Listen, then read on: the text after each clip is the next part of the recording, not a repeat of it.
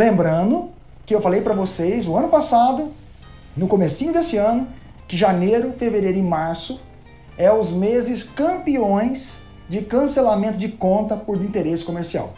Não é verdade? Quem está me seguindo todos os dias sabe que eu falo isso, né?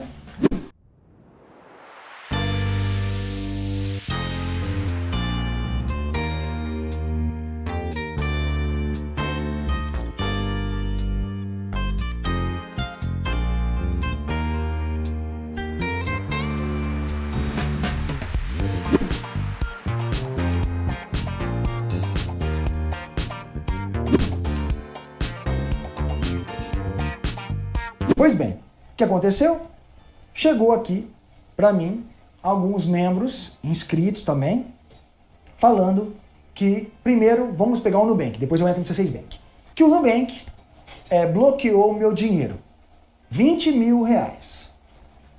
Aí, manda um e-mail, conta toda a história e pasmem vocês. Nenhum, nenhum cometeu erro. Nenhum cometeu erro. Porque você leu o e-mail, poxa, o Nubank é o culpado. O C6 Bank é o terror.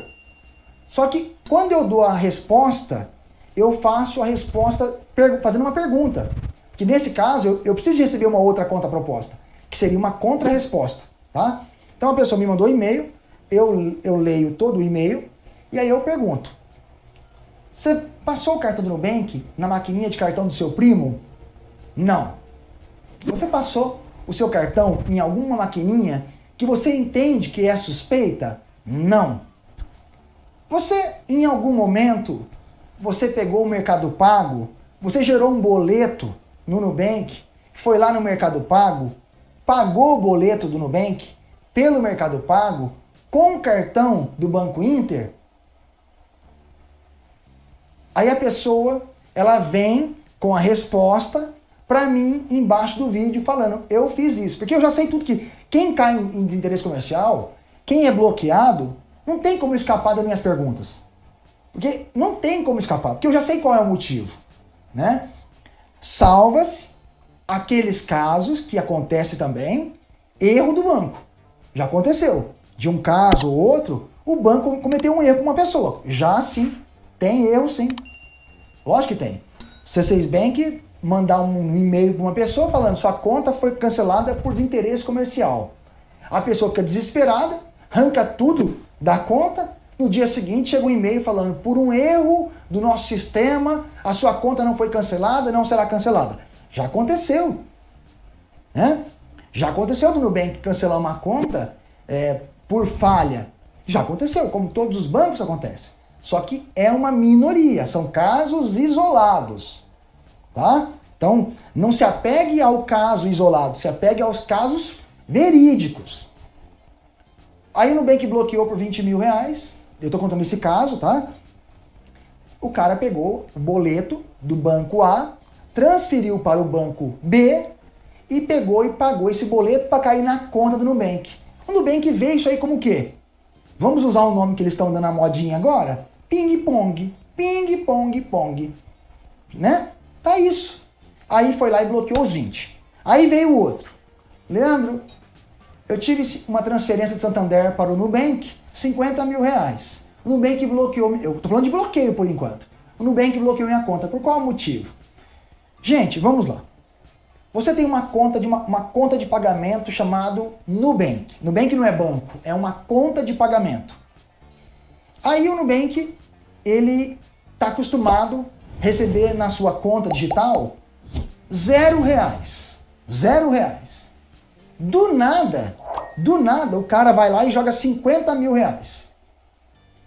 Só que o sistema do Nubank, quando aprovou a conta dele, pleiteou nas redes sociais, dentro do sistema deles, que o cara ganha 3 mil.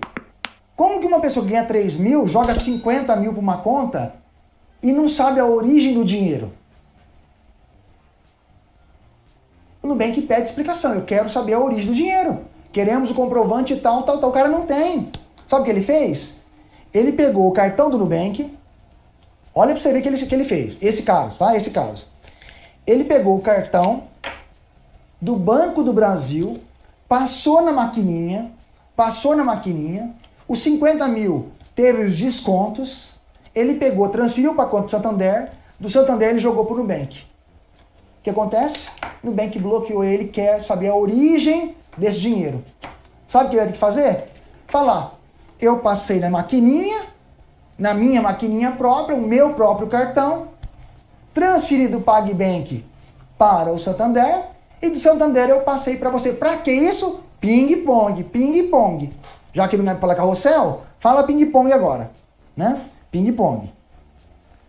Aí bloqueou o dinheirinho do coitado, o santo, o santinho do pau oco, né?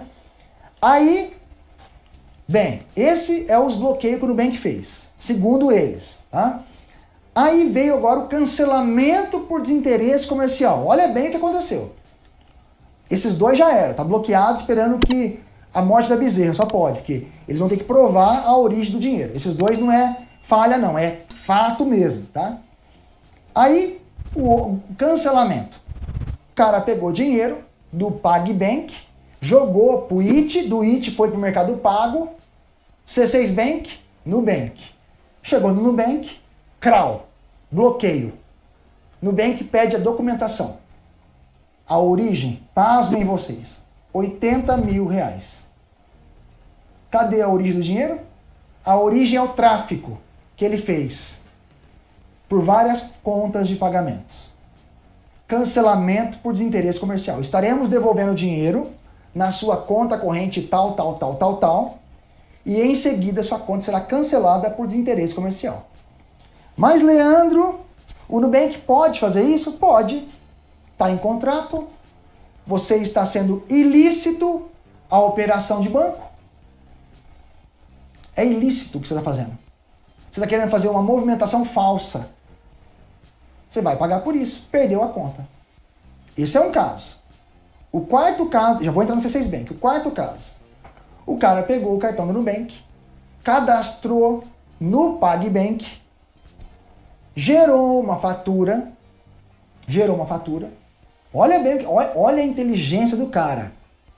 Ele gerou um boleto, gerou um boleto de depósito na conta. Olha bem, Olha, Mônica, eu acho que essa nem você sabe. Que a criatividade avança muito alto. O cara pegou um boleto de depósito, foi lá no PagBank, depositou 8 mil reais. Ele foi lá com o cartão cadastrado no Nubank, no PagBank, pagou o boleto com o cartão do Nubank 8 mil reais. Esse dinheiro caiu na conta do Nubank, o próprio dinheiro do Nubank. O que o Nubank fez? Crau desinteresse comercial. Ah, eu não fiz nada. Fez sim. Fez sim. Tudo isso que eu estou contando para vocês são que eu desmembrei com eles. Que na hora que eu apertei, eles falam.